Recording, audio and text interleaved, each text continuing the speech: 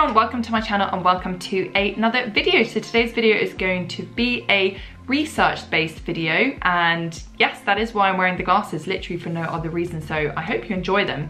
But today I'm gonna be talking about something that I mention quite a lot and that is sugar.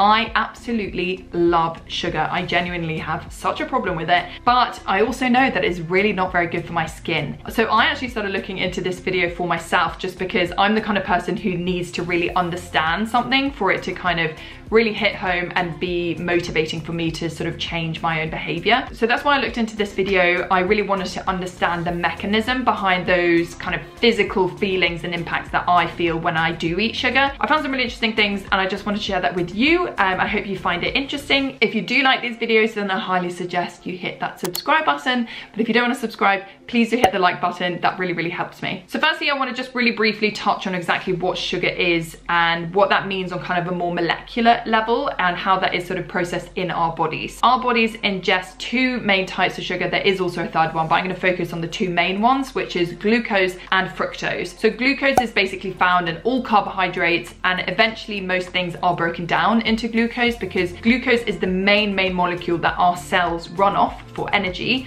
to perform normal functions and to just survive day to day. Then we also have fructose, which is a much simpler sugar. It is very sweet. It is found in fruits, hence why it's called fructose, and it is processed in a different way to glucose. So when we eat sugars, the sugars enter into our bloodstream, and most of the time it is mostly used by our cells in lots of different ways, but sometimes we tend to eat a little bit too much. And when that happens, our body has lots of clever ways to kind of deal with that oversupply of sugar. So with glucose, if there is too much of it, it's firstly stored in the muscles or in the liver. And what it does there, it just kind of sits there and essentially what will happen is next time you exercise, some of that will be released and will be used as energy in those kind of very high bursts of energy demand. But there is also a limit to how much can be stored in your liver and in your muscles. And when we have too much even for that, that is when it gets stored as fat. And we have something called insulin, which essentially helps us to regulate and helps us to shuttle this glucose into the various places that it needs to, whether that's in the muscles, whether that's in the liver, or whether that is in our fat cells. Fructose, on the other hand, does not have the same mechanism as glucose, and it pretty much goes straight to the liver when there is too much of it in your body. When we think of sugar, when I mean the kind of white table sugar, that is essentially fructose and glucose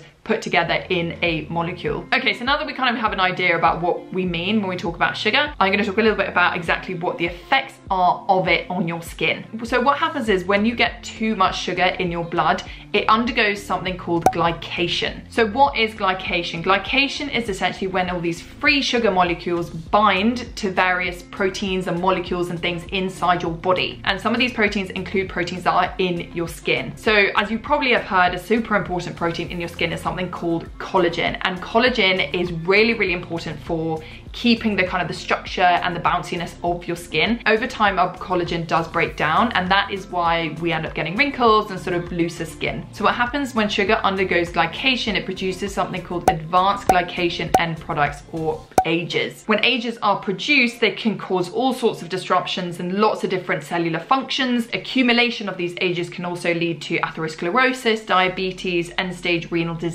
and chronic pulmonary disorder. So a lot of different things basically. Now going back to the skin and going back to collagen, when glycation happens in collagen, it really has quite a few very undesirable effects. So the first thing that happens, it makes the collagen super, super stiff. And when it becomes super stiff, you can imagine it makes it much easier to break. The second thing it does is that collagen, normally when it is healthy collagen, is found in lots of sort of cross-linkage patterns. And when it gets glycated, it impairs that function of cross-linkage. So not only is it easy to break, if they don't bind to each other. So finally what it does, it slows down collagen turnover, meaning that it slows down production of new collagen. So if you are eating a very high sugar diet, eventually over time, your skin will start to wrinkle and it will get something called a sugar sag and it will essentially just lose its structure much, much, much faster than if you were eating a much lower sugar diet. Glycation can also affect something called elastin, which is the more stretchy fibers that are in between your collagen. And this is essentially what gives your skin that kind of movement. And same kind of thing in collagen, if you get lots of glycation in elastin,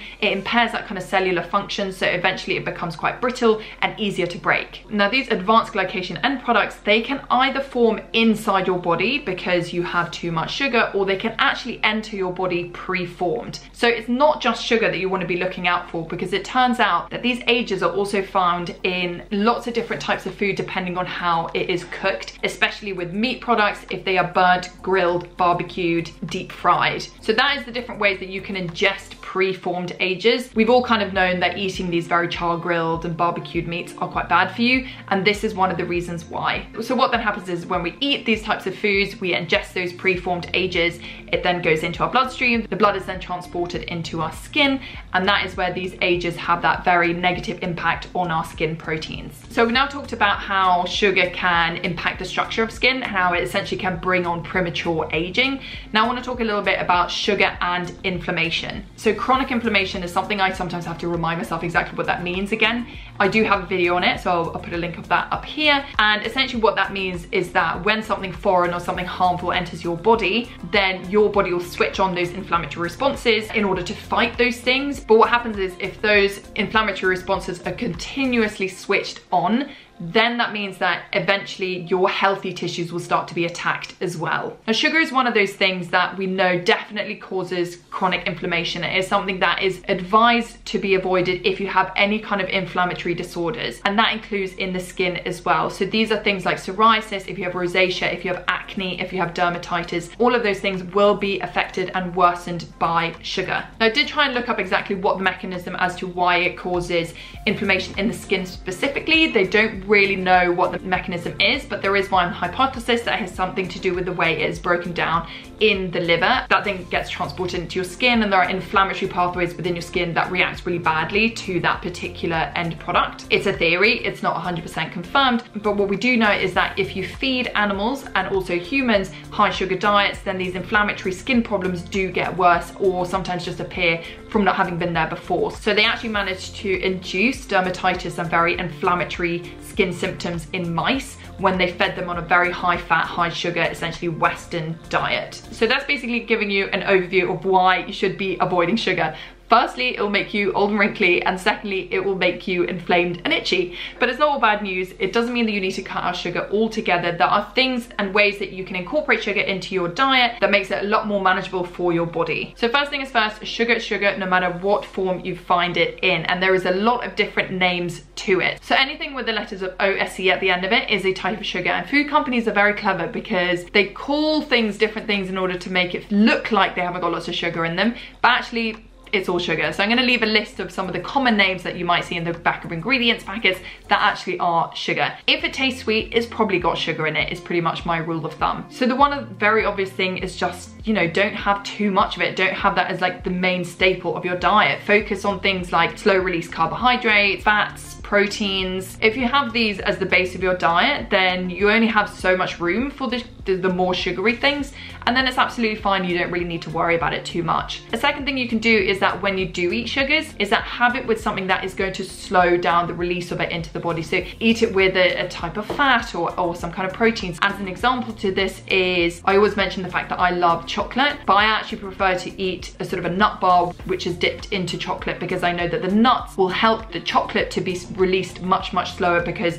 nuts are quite difficult and quite hard to digest. So something that people always ask me about is the sugar in fruit. And sugar in fruit is better because when you find fruits in their very natural state, not processed, not made into a smoothie, anything like that, they are packed into loads and loads of fiber, but even myself personally, I find that if I eat too much fruit, it does tend to make my skin a little bit itchy. And too much fruit, yes, it does behave as lots of sugar in your body. So I would just have like normal amounts of sugar. Don't go on these very high fruit diets. I, I really don't think they're good. They're also not very satisfying. So why would you do that anyway? Another thing that I just want to mention as well that doesn't necessarily have to do with sugar, but it is to do with those preformed AGEs that I talked about earlier. You want to be avoiding things that are barbecued, char grilled, roasted, deep fried, all those sorts of things that do create these preformed AGEs. You really want wanna be avoiding those and stick to more water-based methods in terms of your cooking. So steaming and boiling is gonna be your best bet. So that's pretty much everything I know now about sugar and how it impacts your skin.